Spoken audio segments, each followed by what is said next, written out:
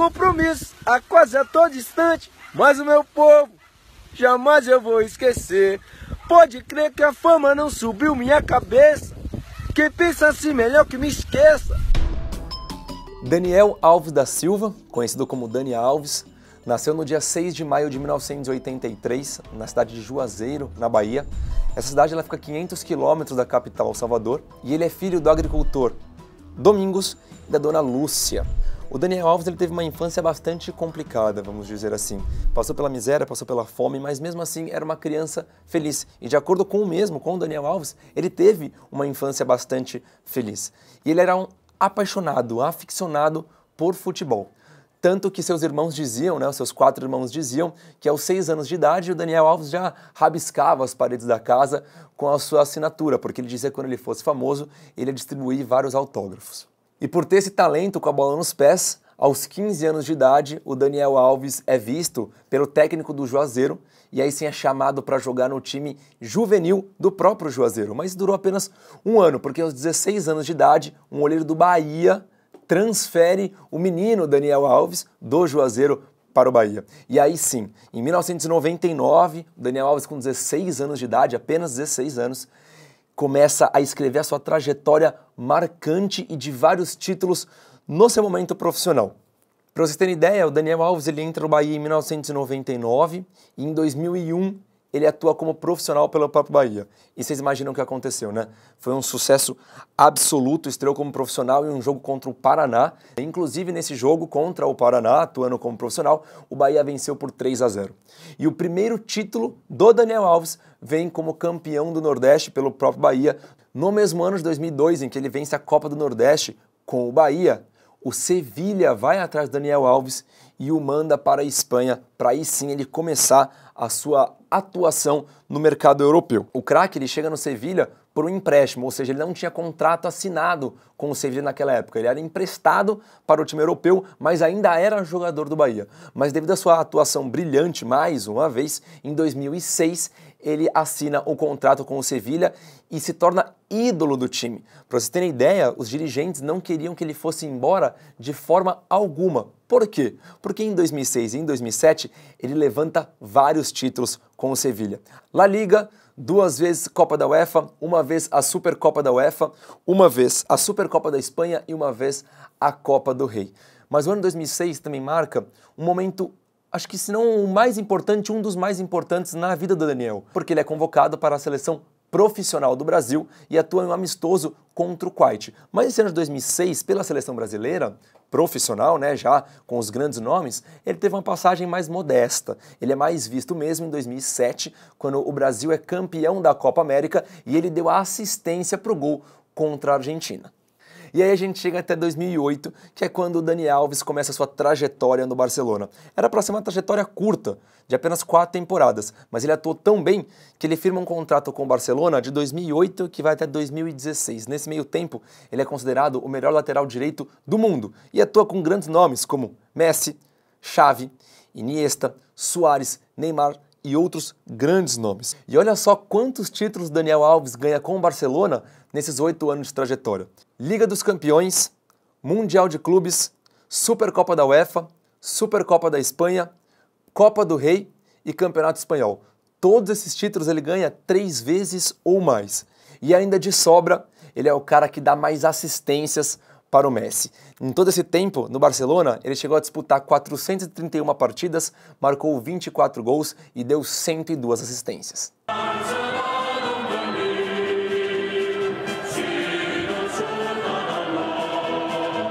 E agora vamos voltar um pouquinho para 2009, porque esse é um ano muito marcante na vida do Dani Alves. Por quê? Porque ele foi convocado para a Copa das Confederações e o Brasil vence a Copa das Confederações. Mas não só isso. Na semifinal da Copa, o Brasil jogava contra a África do Sul.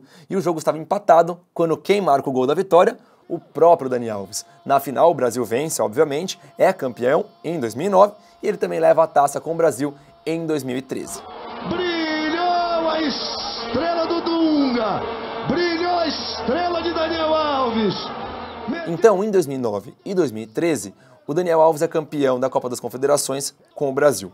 Só que nesse meio tempo tem a Copa do Mundo da África do Sul que acontece em 2010. Ele é convocado, mas é convocado e fica no banco de reservas, tá?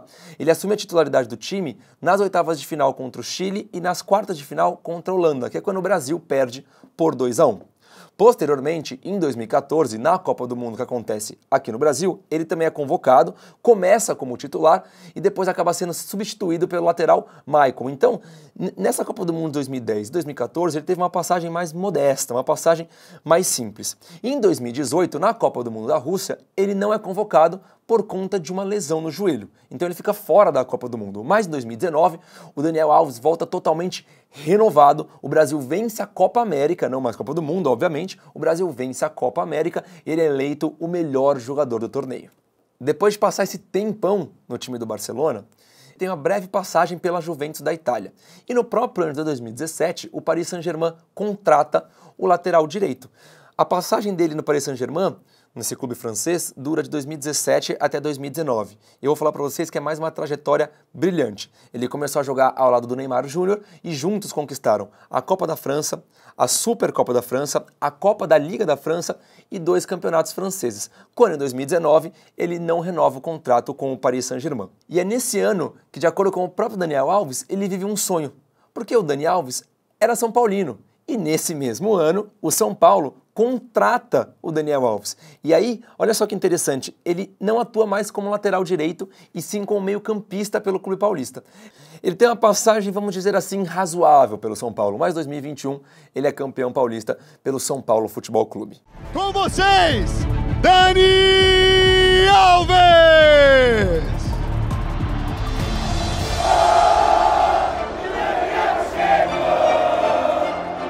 E no ano de 2021, quando Daniel Alves é campeão paulista com o São Paulo, ainda falta no seu hall de títulos o título né, de campeão olímpico. Ou seja, falta ele ganhar o ouro com o Brasil. E nesse ano acontece as Olimpíadas de Tóquio de 2021 e quem comandava a seleção olímpica era o técnico André Jardine, que faz o quê? Convoca Daniel Alves para a seleção. E o que acontece? O Brasil é campeão olímpico, o Brasil leva o ouro, o Daniel Alves era titular da seleção e nesse ano ele se tornou o jogador mais velho a defender a seleção brasileira. Em 2021, acontecem várias coisas na vida do Daniel Alves. Inclusive, ele sai do São Paulo nesse mesmo ano e retorna ao Barcelona. Só que ele teve uma passagem muito curta. Ficou no clube espanhol apenas por uma temporada, de 2021 até 2022, quando não teve o seu contrato renovado. Com isso, o craque ficou sem clube. Aí sim, em 2022, o Pumas do México contrata o lateral direito. Só que o Pumas ele foi eliminado da Liga MX. Então o que, que o Daniel Alves faz? Mesmo continuando pelo Pumas, ele volta para Barcelona, ele é muito bem recepcionado pelos dirigentes do clube e passa a treinar junto com o time B. Ou seja, ele não joga pela Barcelona, ele volta, treina com o time B justamente para se preparar para uma possível convocação para a Copa do Mundo que acontece no Catar nesse mesmo ano. O Daniel Alves ele teve um rendimento muito abaixo do esperado no Pumas e por isso ninguém acreditou que ele seria convocado para disputar com a seleção brasileira a Copa do Mundo no Catar.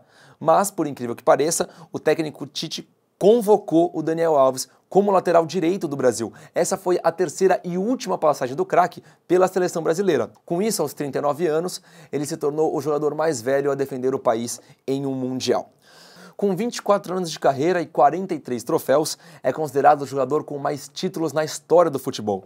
E entre eles vamos citar: melhor jogador da Copa da UEFA, melhor jogador da Supercopa da UEFA, melhor lateral direito do Campeonato Espanhol, melhor lateral direito pela FIFA, melhor jogador da Copa América de 2019 e campeão do Brasil pelas Olimpíadas Tóquio 2021. Daniel Alves é acusado de estuprar uma mulher numa boate em Barcelona, na Espanha. O lateral da seleção brasileira Daniel Alves está preso de forma preventiva numa penitenciária perto de Barcelona.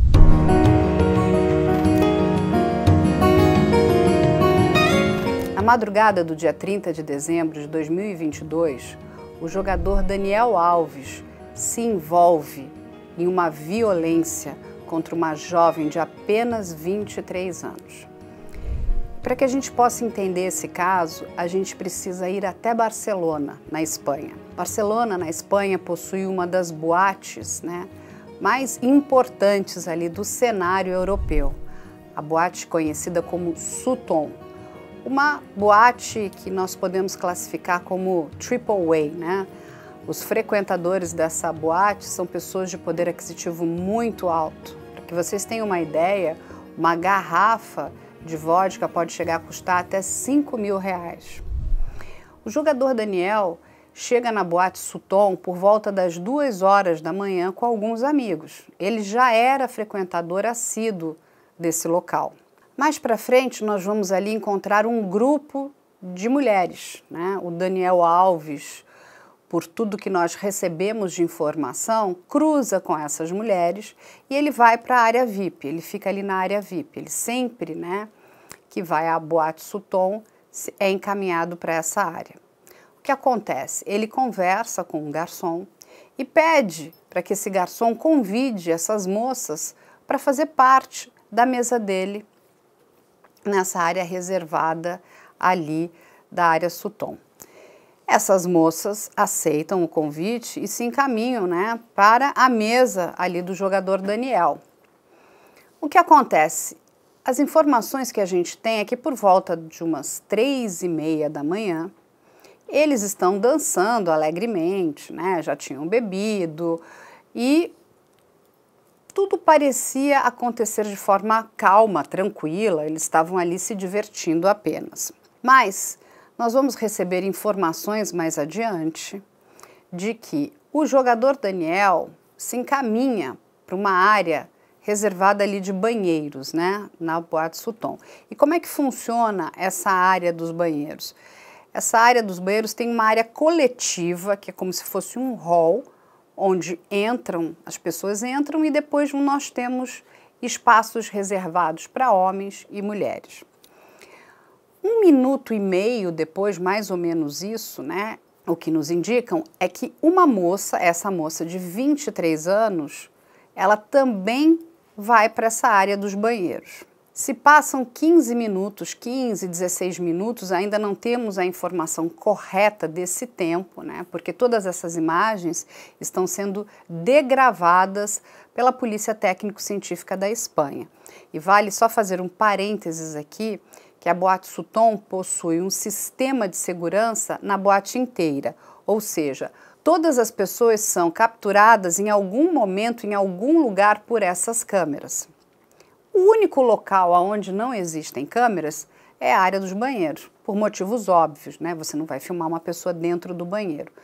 E nós estamos falando ali de câmeras de alta qualidade. As imagens são muito boas. Ou seja, dentro da boate temos ali um Big Brother de câmeras. E o que acontece? Passado esse tempo de 15 minutos, o Daniel Alves sai e essa moça sai na sequência. É passado um tempo, o Daniel Alves se despede das pessoas e vai embora, vai embora da boate. Essa moça de 23 anos, ela sai também um pouco depois, aí já aos prantos, já bastante desesperada, informa que havia sido abusada e violentada por uma pessoa famosa os funcionários da boate prontamente né, acionam a polícia local, a polícia catalã, que vai até a, o local da boate e vai entender o que, que aconteceu com essa moça. Essa moça conta né, que sofreu um estupro e, inclusive, sofreu violência física.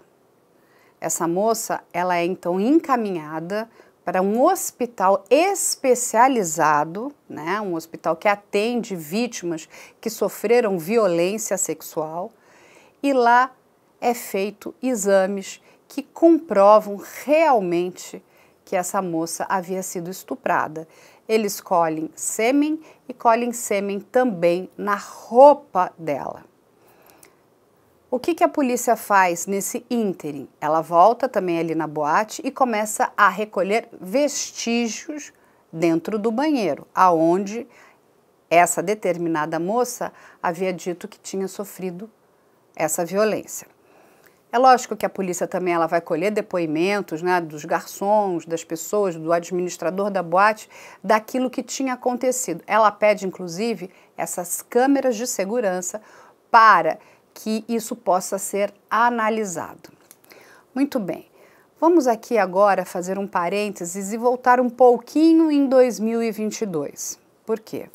Porque em 2022 a mãe da esposa do Daniel Alves, a modelo Joana Sanz, foi diagnosticada com um tumor bastante agressivo. A mãe da Joana Alves é uma pessoa que sofre de doenças mentais, ou seja, ela é uma paciente bastante complexa. A própria Joana, é, ela veio a público né, e ela alega que a mãe dela sofreu ali maus tratos hospitalares. E desde que a mãe foi diagnosticada com esse tumor, ela passou a esperar por uma cirurgia para a remoção desse tumor. Mas infelizmente essa senhora veio a óbito em janeiro. E o que acontece? O Daniel Alves, que estava no México, né? Porque esse período da boate, logo depois que ele, né, ele sai da boate, ele volta para casa dele, ele inclusive ele volta para o México porque o Daniel Alves jogava, na época, pelo Pumas no México. Então, também vale aqui ressaltar que o Daniel Alves possuía residência no México, ele é brasileiro, ou seja, ele possui passaporte brasileiro, e como é casado com uma espanhola, também possui passaporte e cidadania espanhola. Essa era a situação do Daniel Alves naquele determinado momento. Vale também lembrar que não existe nenhum relato ou nada anterior a esse episódio que tivesse desabonado a conduta do Daniel Alves. Tudo indica que o que ele fez, ele fez a princípio pela primeira vez, porque nós não temos informação de que ele tenha abusado ou violentado ou estuprado qualquer mulher anteriormente. Ah, o que, que vai acontecer? O Daniel Alves, né, ele é indagado pela imprensa, né, porque esse caso começa a rondar ali a Espanha e ele no primeiro momento faz um vídeo né, nas suas redes sociais e ele nega tudo. Depois ele é, ele né, concede uma entrevista né, para o jornal Antena 3 lá na Espanha e também nega absolutamente que tenha violentado, estuprado, abusado de qualquer mulher. E diz mais, ele diz o seguinte: eu não sei quem é essa mulher. Muito bem, isso é o que o Daniel Alves faz no primeiro momento. E, em paralelo a isso, está acontecendo uma investigação né, policial. E para que fique bem claro, algumas né, leis são bastante similares às nossas leis aqui no Brasil. E quando a gente fala de mulheres, né, de vítimas que sofreram né, essa violência sexual, essas vítimas têm o direito de permanecer anônimos, elas têm o direito ao anonimato. Ou seja, ninguém pode né, dizer quem é essa vítima. E com relação a isso, segue-se um sigilo né, nessas investigações, nesse processo, nesse inquérito e tudo que virá ali mais para frente para que essa vítima seja preservada. É sabido que a Boate Sutton não permite pessoas com menos de 23 anos.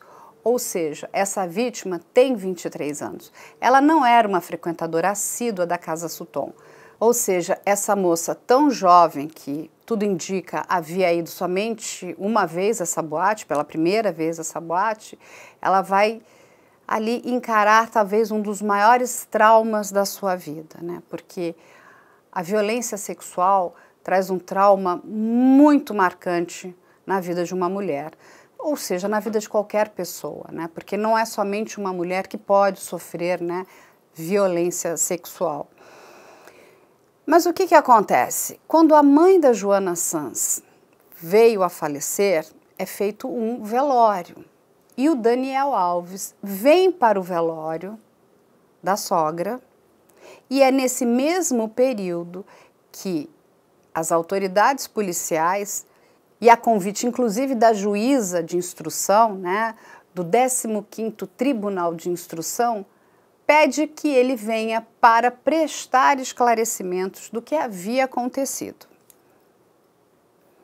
Ele se diz inocente, ele diz que não havia feito nada, ele não vê problemas e ele comparece. Inclusive, pelo que recebemos de informação, ele vai prestar declarações porque disseram para ele: não, é uma coisa de praxe, você precisa vir até aqui para explicar o que aconteceu. E ele assim o faz. Só que ele vai sem a presença de um advogado. E o que acontece nesse dia 20 de janeiro é que ele começa a contar versões diferentes para essa juíza. No primeiro momento, ele repete a versão de que não conhecia a vítima. E aí a juíza, né, na, como uma pessoa bastante experiente, avisa ele e fala: olha, nós recolhemos material genético, nós temos aqui, né, material suficiente para comprovar que essa moça sofreu um estupro. Aí ele automaticamente já resolve mudar a sua versão. E ele passa a dizer então para a juíza que aquilo não havia sido um estupro, mas sim que a vítima havia ido em direção a ele e praticamente o forçado a fazer sexo ele informa para a juíza que essa moça sentou no colo dele. E aí, uma juíza experiente diz: muito bem, mas essa vítima alega que viu uma tatuagem sua numa região íntima que nessa posição pela qual você aqui está me informando, não seria possível que isso tivesse acontecido. E aí, novamente, o Daniel Alves muda a sua versão e aí passa a dizer que, não, então, pera um pouco, acho que não foi isso. Mas o sexo foi consentido. Nós tivemos uma relação dentro desse banheiro, dessa boate, mas foi sexo consentido. Você pode, né, eu imagino que ele tenha dito, checar nas câmeras de segurança, nós estávamos dançando, tudo ia muito bem e acabamos nesse banheiro e tivemos ali uma relação sexual consensual. Essa juíza entende que o Daniel Alves traz muitas versões diferentes, muitas inconsistências naquilo que ele fala, diferentemente da vítima, que já havia prestado várias declarações e manteve a sua postura bastante firme em relação ao que tinha acontecido com ela, a esse terrível fato que ela passou. O que, que essa juíza faz? Ela declara a prisão preventiva do Daniel Alves.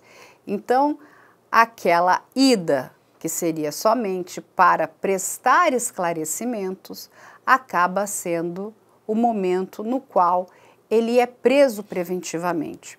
E a gente entende que essa prisão aconteceu porque versões um tanto quanto descabidas foram dadas por ele. Primeiro eu gostaria de desmentir todas essas acusações que estão circulando aí com meu nome.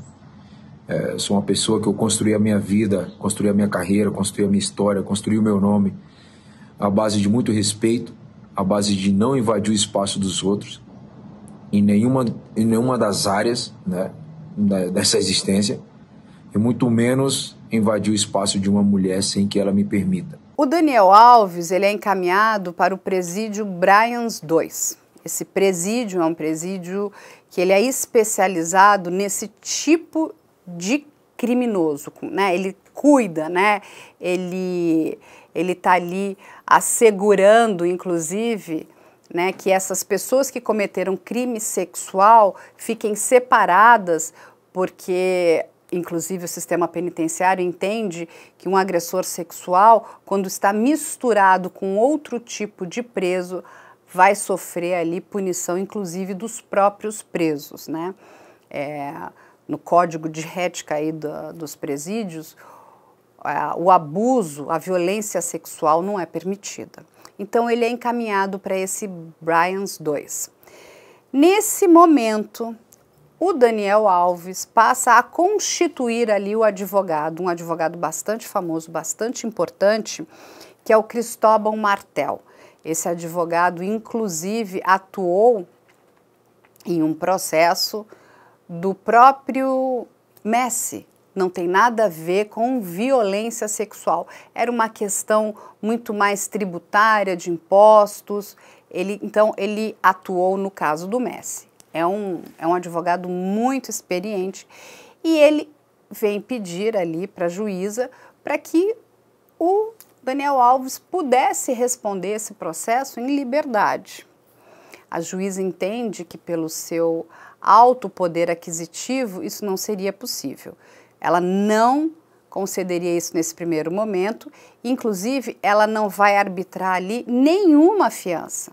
Então ele está preso sem direito à fiança. É uma prisão preventiva, inclusive para que não exista risco de fuga.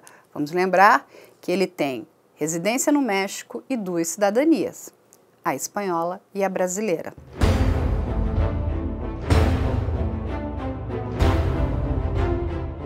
O Tribunal Superior de Justiça da Espanha, no dia 10 de janeiro, confirma para a imprensa que o Daniel Alves estava sendo investigado pelo crime de violência sexual. A advogada da vítima, a doutora Esther Garcia, informa inclusive que essa moça está passando por tratamento psicológico e por tratamento farmacológico, ou seja, essa moça ela está bastante debilitada emocionalmente. O que aconteceu na vida dessa vítima colocou a vida dela de cabeça para baixo. Uma moça tão jovem que a única coisa que ela gostaria era se divertir um pouco, né? Ela saiu para uma casa noturna e acabou envolvida nessa agressão que é muito, muito cruel, muito cruel para uma mulher. E o que acontece? A juíza, que é para a gente até explicar uma, uma questão, esse tribunal de instrução, ele funciona mais ou menos como vai funcionar aqui no Brasil a questão do juiz de garantias, né?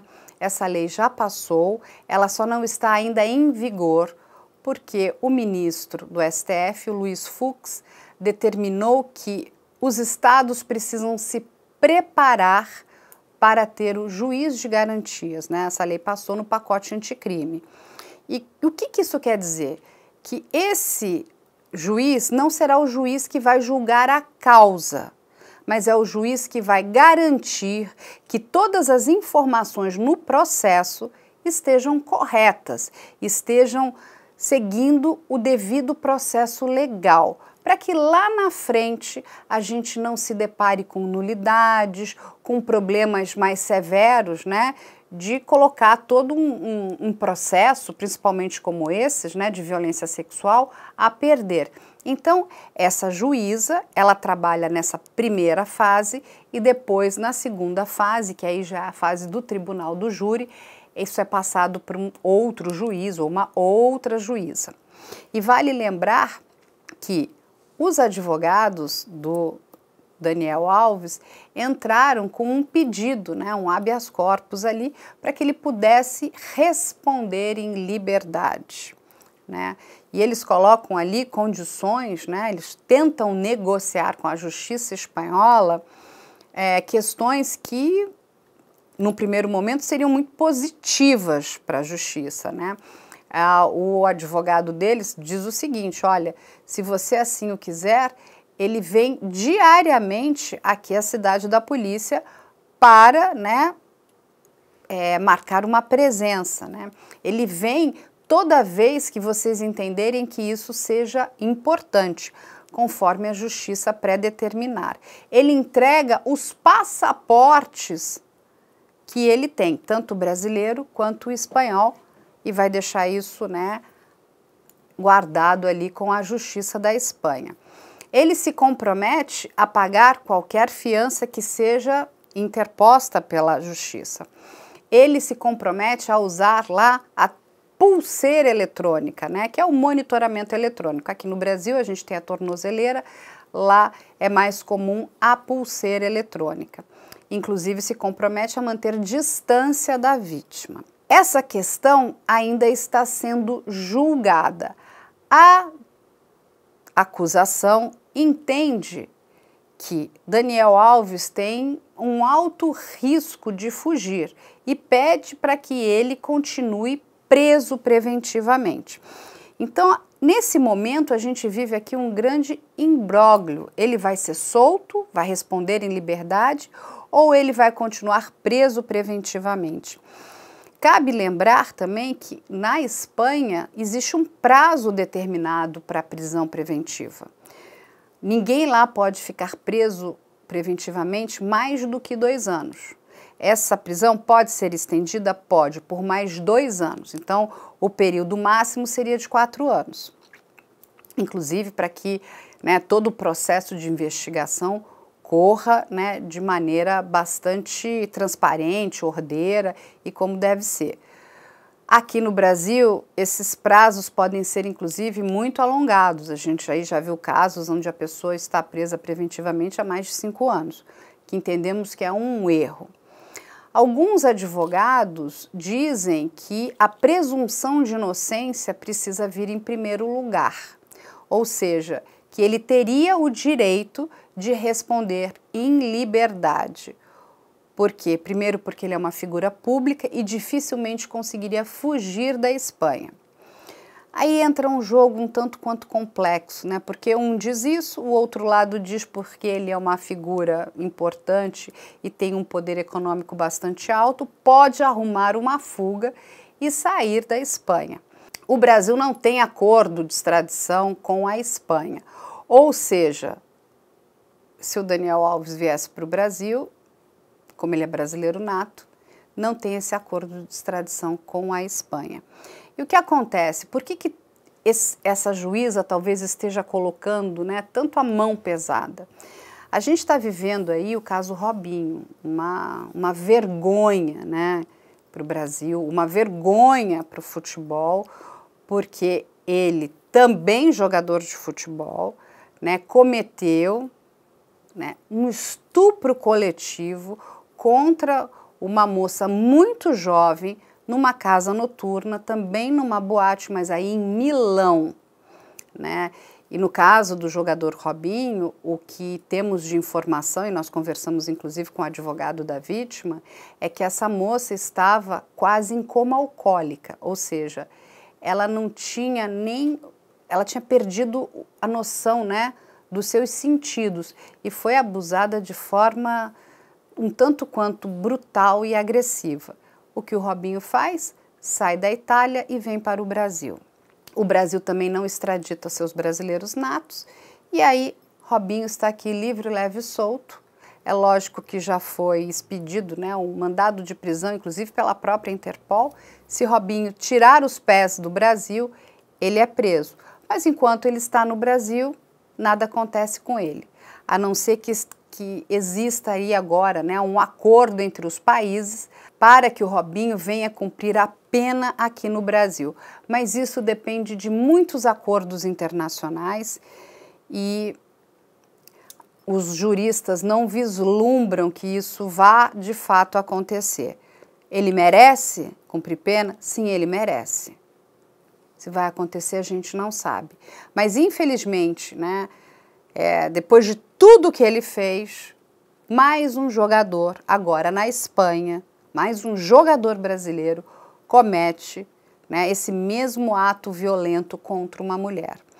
E aí, eu acho que a juíza quis mostrar de forma exemplar o seguinte: aqui na Espanha, ninguém vai fugir. Ou seja, se você cometeu esse crime, senhor Daniel Alves, você vai pagar pelo crime. Então a gente tem essa, essa questão, né? de uma parte né, de juristas que entendem que ele tem direito a responder em liberdade, e é um direito constitucional, não é? Porque ninguém é, é, de fato condenado, né? Se torna de fato um criminoso se não existe ali o, o, trânsito em julgado. Então, é preciso que o processo todo corra e se no final ele for condenado, então de fato ele é um criminoso e ali ele deve começar a cumprir a pena dele. Mas depois de tudo que aconteceu ali com o jogador Robinho, eu acho complicado é, a juíza dar essa liberdade que ele está pedindo.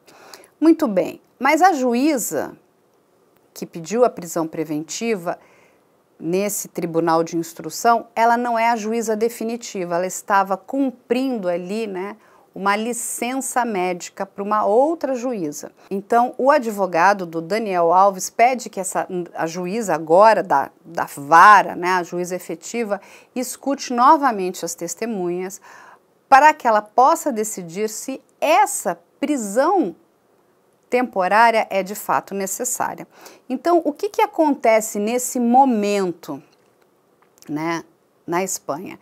Essas oito testemunhas, incluindo Daniel Alves e a vítima, já foram ouvidas pela juíza.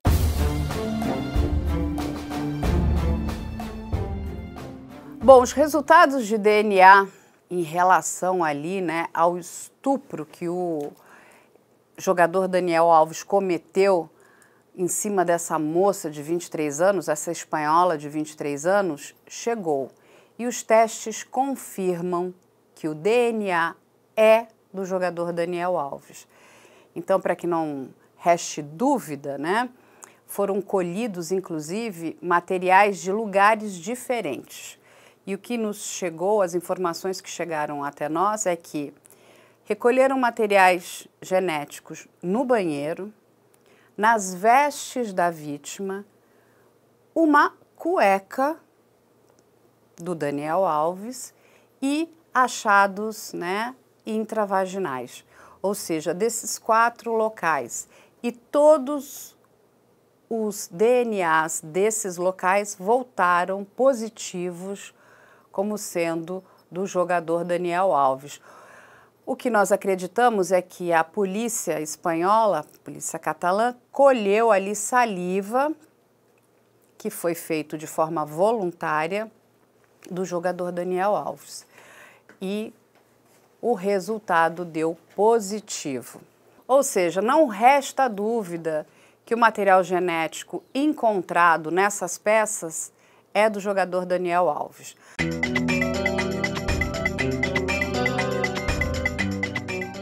Nós temos os depoimentos das pessoas que estão ali confirmando né, que o Daniel Alves esteve com essa moça.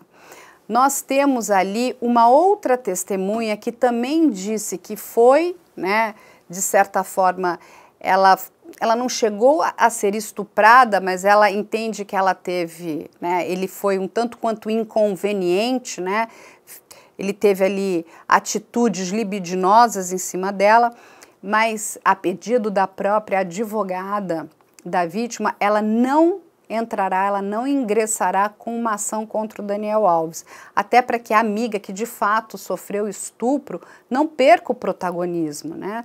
Então, e se uma vez ela também é, é, é, é, vítima, ela entra com processo, ela não poderia ser testemunha do caso da amiga. Então, tem todo um trabalho né, da própria advogada da vítima para preservar o processo. Então, nós temos ali novamente as oitivas, nós temos os materiais genéticos, inclusive o de DNA, o SEMI. Nós vamos ter aí sete horas de material né, de gravação que estão sendo degravados né, para que toda a dinâmica seja apresentada. Nós temos o depoimento dos policiais, né, que estiveram com a vítima naquele primeiro momento. Nós temos também depoimentos dos médicos que atenderam, os socorristas que atenderam a vítima. E esse conjunto, né, de informações e de provas, eles vão trazer para essa juíza desse tribunal um convencimento se o Daniel Alves deve ficar preso preventivamente ou se ele pode responder esse processo em liberdade. Tem mais uma informação que tem sido muito especulada, que é a respeito de um tênis. Existe uma imagem das câmeras de segurança aonde mostram um pé segurando uma porta. A acusação afirma que esse tênis, esse pé é do Daniel Alves. Já a defesa quer usar essa, essas imagens para provar que aquilo seria um reflexo e não a imagem do pé do Daniel Alves. Ou seja, pelo que a gente entende né, em relação à própria advogada da vítima, se esse, essa imagem comprovar que esse pé é do Daniel Alves, aí sim ele realmente estaria né, colocado ali naquela cena do crime. É uma informação aqui, uma curiosidade para passar para vocês: o Daniel Alves possui sociedade em 15 estabelecimentos aqui no Brasil. Uma das alegações da defesa do Daniel Alves diz o seguinte: mantê-lo preso sem ter a certeza de que ele é de fato né, um criminoso está trazendo um grande prejuízo financeiro ao Daniel Alves. Que prejuízo seria esse? Né? Vale lembrar que o Pumas, quando descobriu né, essa questão né, desse processo, rompeu o contrato com Daniel Alves. E isso está previsto, né? É uma cláusula do contrato do jogador que ele não pode, ele não pode fazer, é, ele não pode ter esse tipo de atitude, ele não pode cometer esse tipo de crime, ele não pode estar envolvido com nenhum crime, porque caso venha fazê-lo, os contratos são rompidos. E não é só o Pumas. Além de tudo, nós temos ali os patrocinadores. Patrocinador nenhum quer ter seu nome envolvido ao nome de um estuprador, de um homem que pratica violência sexual contra uma mulher. Então ele perde os seus patrocínios também. E quando a gente fala do Pumas, não é só romper o contrato. O Daniel Alves precisa agora pagar, inclusive, valores a esse, esse clube, porque ele ali descumpriu cláusulas, então ele é punido também civilmente por esse clube. E o advogado dele começa a dizer o seguinte: nossa, olha só o tamanho do problema, e não temos nem certeza de que de fato essa relação não foi consensual. Porque o que a gente precisa aqui esclarecer é que não há dúvidas de que houve uma relação sexual. A questão toda é se essa relação foi consensual ou não. Ele alega que foi, ela diz que não. E aí vale deixar aqui um parênteses do que, que é relação consensual, né? Porque não é porque você tem um marido que ele pode praticar sexo com você sem a sua vontade. Não, ele não pode. Não é porque você começou até uma relação sexual, você está ali né, no clímax daquela relação, que se você disser não, a pessoa tem que continuar. Não é não, mesmo no meio ali, né? Se você falar eu não quero mais, a outra parte precisa parar, porque dali para frente nada mais é consensual e passa a ser uma violência. E violência nesse caso é um estupro. Não é porque como ele alega, nossa, mas nós estávamos ali nos divertindo, bebemos um pouco, pode ter rolado um beijo, a gente não sabe, nós não temos acesso a essas imagens, que ela estava dando sinais que ela aceitaria ter uma relação sexual com Daniel Alves. Ou seja, o não é não. Isso na Espanha é muito sério. Existe, inclusive, uh, um protocolo nos boa nas boates, nos restaurantes, nos bares, que se chama no calem. No calem significa não se calem. Se algo acontecer, venham até nós e nós precisamos ajudar aquela determinada vítima que está sendo agredida ou que está sofrendo alguma violência sexual. Então precisa ficar muito claro: não é não. Mesmo que uma relação já tenha começado, se uma das partes diz não, essa relação precisa parar, porque aquela pessoa não quer mais. E, no, e novamente, não significa porque alguns carinhos, afagos aconteceram, que uma das partes tem direito a requerer o sexo da outra. Então, esclarecido isso, não é não. E eu só espero retribuir a todos vocês esse carinho e esse sentimento chamado São Paulo. Muito obrigado. Uma outra curiosidade é que o, o, jogador Daniel Alves está preso em uma cela com outro brasileiro de nome Coutinho, né? Esse brasileiro também cometeu uma violência sexual. Mas ele não é jogador de futebol, pelo que a gente apurou aqui, ou tem ligação com jogador de futebol. Ele só está lá porque ele cometeu um crime sexual e, no caso, ele também é brasileiro infelizmente, está preso ali junto com o jogador Daniel Alves. As leis hoje estão muito rígidas na Espanha e a gente tem que parabenizar a Espanha. E por que as leis estão muito rígidas? Né? Em 2016, uma jovem, ela foi brutalmente né, agredida sexualmente por um grupo que ficou conhecido como La Manada. Isso aconteceu ali na região de Navarro. E foi muito triste o que essa jovem passou. Num primeiro momento, né, e eles alegavam que aquilo tudo havia sido consensual. Cinco homens e uma jovem de 18 anos. E vale aqui lembrar que nós tínhamos ali nesse grupo uma pessoa do Exército e uma outra da Guarda Municipal.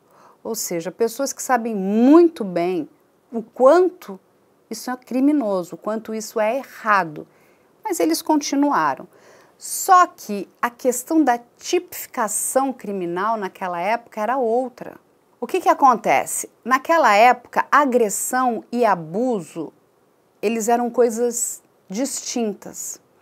E esses cinco homens conseguiram, né, ser inocentados da agressão sexual e foram apenas condenados por abuso sexual.